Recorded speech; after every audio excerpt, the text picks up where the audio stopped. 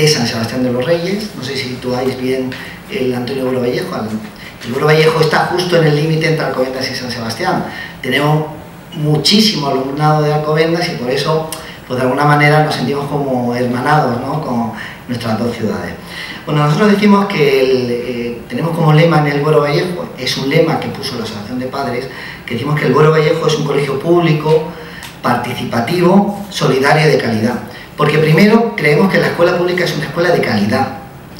Creemos que la escuela pública tiene que ser una escuela participativa donde todos los que componemos, eh, todos los sectores que componemos esa escuela, tenemos que participar en su mejora y en su vida diaria y creemos que, que tiene que ser solidario porque la escuela pública, el objetivo fundamental que vemos desde las asociaciones de padres, y hablo en plural porque nosotros también pertenecemos a la Federación de Asociaciones de Padres Giner de los Ríos y por tanto esta es una consigna de la FAPA Giner de los Ríos.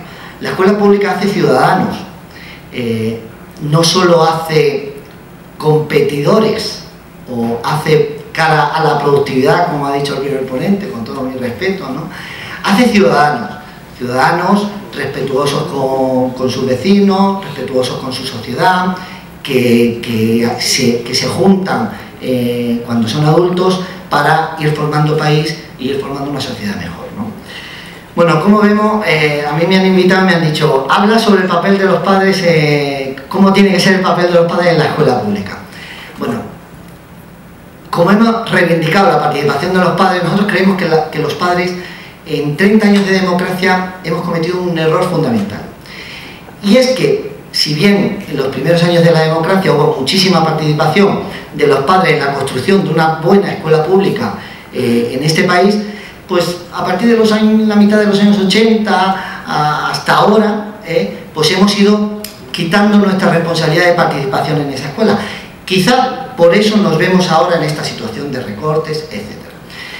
Y lo digo porque, mira, nosotros creemos que, que la escuela pública tiene, tres factores positivos, fundamentalmente. Tres factores positivos frente a la privada y frente a la concertada. ¿no? Primero era que los ratios eran más, más bajos, la atención a la diversidad era universal, en los colegios públicos no discriminamos a ningún niño, no, no le ponemos eh, un tope a la entrada, por tanto, eh, aceptamos a, absolutamente a todos, asumiendo sus, diferencias e intentando compensar aquellas dificultades que puedan tener. Todo el mundo sabe que eso, la privada o la concertada, hay que decir que muchas concertadas sí que lo intentan hacer y es loable, ¿no? pero la inmensa mayoría pues es una forma de seleccionar al alumnado porque no quiera determinado alumnado que la pública solidariamente hace buenos ciudadanos con ellos, o intenta por lo menos. Ese es un valor positivo de la escuela. Y principalmente el valor que tiene la pública es el valor de su profesorado. Y aquí tenemos que entrar en la situación actual que hay.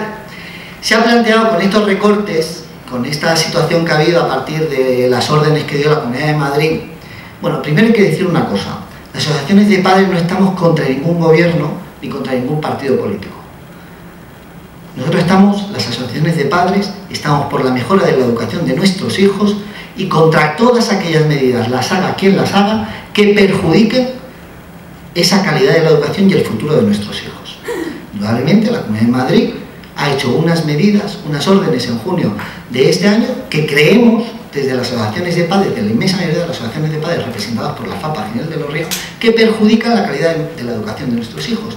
Y a la vez, lo que no hemos, hemos dejado claro constantemente, que no vamos a entrar en un intento de enfrentamiento entre el profesorado y los padres. Por mucho que se nos intente eh, enfrentar con que si las huelgas perjudicaban, no.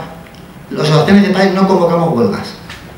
Si esto fuera un conflicto laboral entre aumentar de 18 a 20 horas de trabajo, nosotros no entraríamos. Entramos ¿por qué?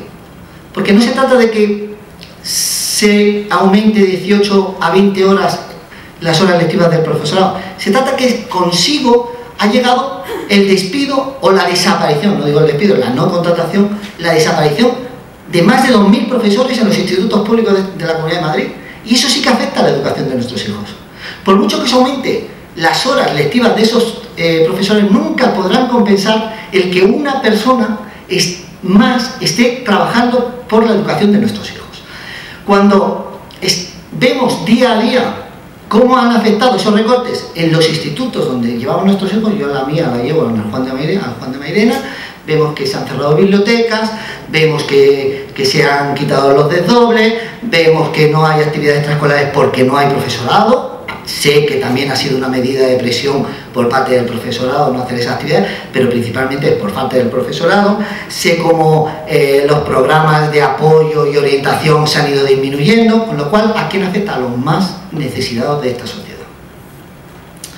Por eso, nosotros no creemos que sea un conflicto laboral. Puede estar latente también un conflicto laboral, claro, cuando, cuando les quitan condiciones laborales, pues personalmente puedo estar, eh, solidarizarme con ellos, pero como padre lo que me preocupa es que esos recortes afecten a la educación de mis hijos, indudablemente está afectando, por eso nos hemos puesto al, frente de la movilización. Por eso desde las asociaciones de padres creemos, desde luego desde la nuestra, es que tenemos que ser los padres los que recuperemos el papel eh, fundamental en esa reivindicación, en el mantenimiento escrupuloso y en la mejora, no en mantenimiento, en la mejora. Creemos que precisamente en una época de crisis la única salida cara a nuestros hijos es la mejora de la calificación académica, la mejora de la cultura. Estamos viendo como países eh, eh, nos están pidiendo profesionales bien formados. ¿Qué sucederá dentro de unos años cuando a raíz de estos recortes económicos eh, la calidad de nuestros hijos se haya, se haya mermado? Pues luego lo vemos con mucha preocupación. bueno, mm, hay un tema, los recortes no son nuevos, y no solo lo ha hecho la Comunidad de Madrid, lo han hecho otras comunidades y a veces con otros signos políticos, no tiene nada que ver, pero vemos con preocupación cómo se han reducido las becas de libro, las de infantil prácticamente han desaparecido, ya no hay becas de infantil, o sea, de 3 a 5 años ya parece que los niños en el colegio no utilizan material escolar. Y os puedo decir que como padre de una niña infantil que es bastante caro, o sea, que, que sí que existe el material escolar en eso. Han desaparecido, han reducido las becas de comedor, ¿eso a quién afecta? No afecta a mí, que yo no tengo beca y es que en concreto ni la pido. Afecta a la gente más necesitada de esta sociedad. Aquello que la escuela tiene que ser el vehículo para integrarse en esa, en esa sociedad en las mejores condiciones. Esa es la libertad. No es la libertad económica, la libertad es la libertad de tener la posibilidad de la igualdad ¿eh? frente a aquellos que tienen esos medios económicos lo suficiente.